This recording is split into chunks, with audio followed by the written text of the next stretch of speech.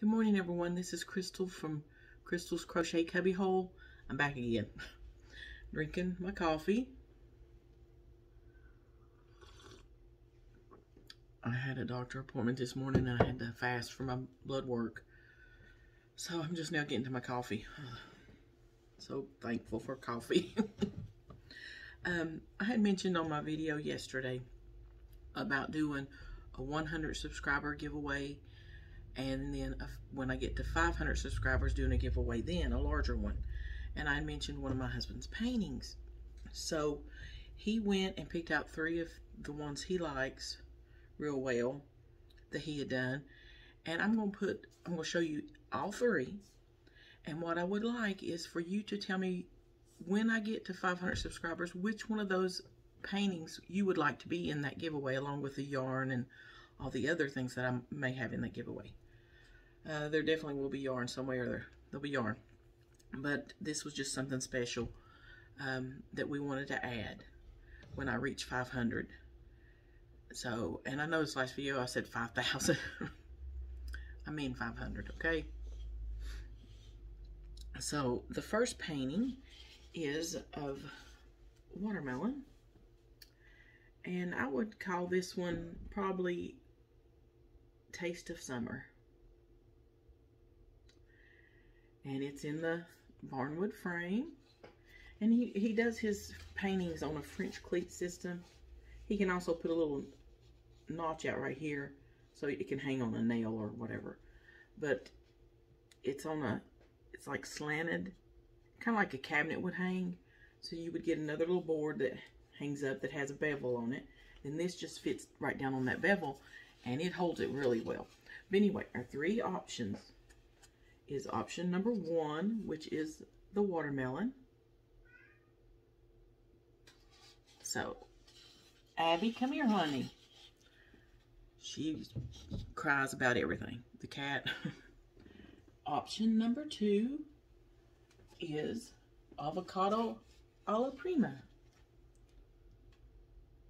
And see, you can see the shadows of the avocado, the shadow of the plate. He just did so good.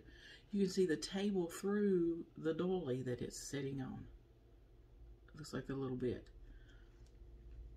But this is avocado alla prima. And then the third painting option